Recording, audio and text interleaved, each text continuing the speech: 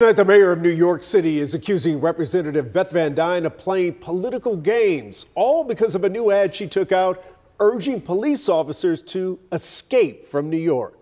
Van Duyne represents the 24th Congressional District, encompassing parts of Dallas and Tarrant County, and she took out a full page ad in today's New York Post recruiting police officers to North Texas.